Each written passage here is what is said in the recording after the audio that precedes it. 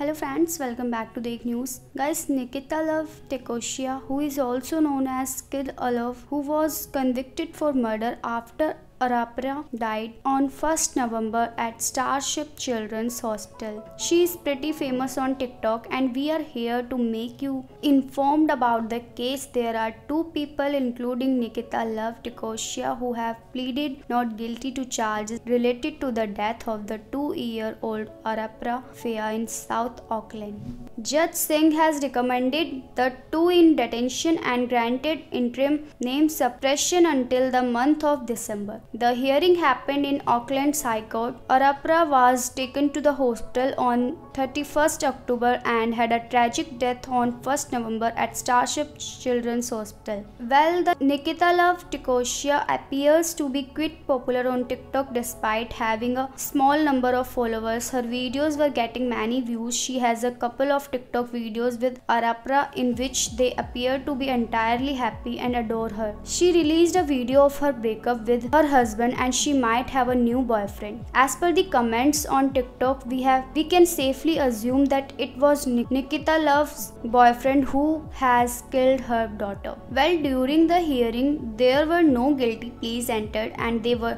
repeated because some family members were unaware of the accusations. It is official that the petition has been filed by 5 pm until next Wednesday. Justice Sally Fitzgerald will set a trial date for the month of March 2023. Well, there are going to be further revelations in the story in coming days and weeks, so we will update you soon. Till then, keep visiting our channel and do subscribe. Thank you so much, guys.